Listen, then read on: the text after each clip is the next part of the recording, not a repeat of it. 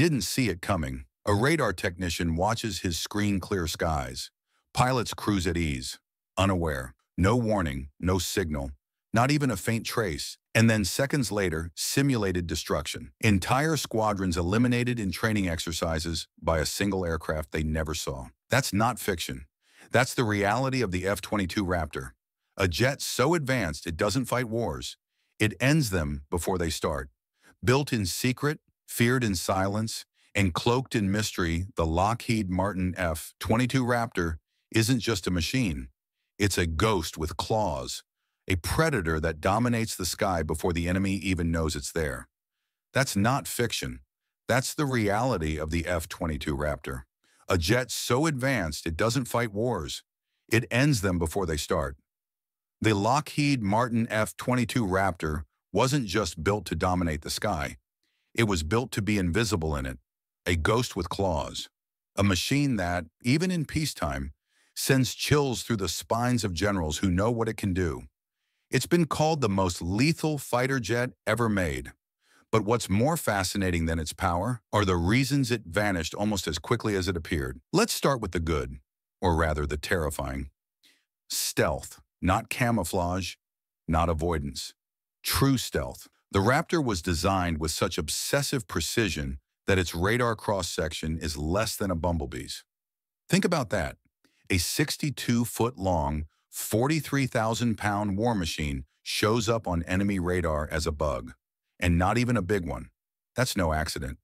The skin of the F-22 is coated with special radar-absorbing materials. Every panel, bolt, and edge is shaped to deflect radio waves in strange directions. Even the missiles are stored inside the body, because the moment anything hangs off the wing, the stealth is compromised. It doesn't just hide, it vanishes. Now combine that invisibility with supercruise. Most jets hit supersonic speed using afterburners, those blazing flames you see in action movies. They're fast, but they're loud, hot, and visible from miles away. The F-22, it cruises at Mach 1.8 without them. That means it can hunt you before you ever hear it coming. Then there's agility. Remember the kind of aerial ballet we saw in Top Gun? Multiply that by 10. With thrust vectoring nozzles that literally bend the direction of the engine's power, the F-22 can pivot, flip, spin, and climb at impossible angles. It can turn inside a radius that would cause most pilots to black out from G-forces. In a dogfight, it doesn't fly like a jet. It moves like a creature, and yet it might never even need to maneuver, because by the time the enemy gets within visual range, the Raptor has probably already launched a missile. That's where the electronics come in. Inside the F-22 is a system so advanced it fuses multiple streams of data radar, infrared, satellite, and electronic signals into one complete view. The pilot doesn't scan for threats. The jet tells them what's out there, what's dangerous, and what to hit first. It's flying with the mind of a machine, one that can process a battlefield in seconds. In simulated war games, F-22s have achieved kill ratios as high as 144 to 0. That's not a typo. 144 kills, zero losses. But for every bit of brilliance, there's a shadow.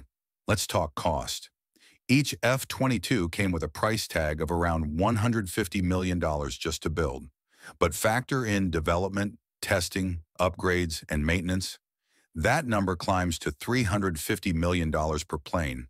It was like owning a Lamborghini you couldn't park, clean, or fuel without a team of engineers. And the upkeep, painful. That sleek, stealthy coating that makes it invisible, fragile. A single scratch could compromise its radar signature. Every flight hour required dozens of maintenance hours to keep the aircraft mission ready. It wasn't just high performance, it was high maintenance. Then came the law. Congress passed a bill banning any export of the F-22. That meant no allies, no foreign buyers, no offsetting the cost. Countries like Japan and Israel begged for a chance to buy it. The answer was always the same. No. Too risky. Too secret.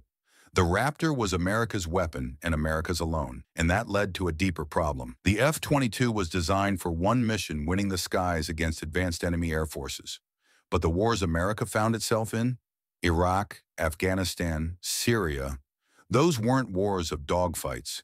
They were battles against insurgents with no air force at all, so the Raptor stayed home, protected, preserved, underused. The final blow? The F-35 Lightning II, a cheaper, more versatile stealth jet that could take off vertically, land on carriers, and be sold to allies around the globe. It didn't fly as fast or stealthy as the F-22, but it was good enough, and good enough was cheaper.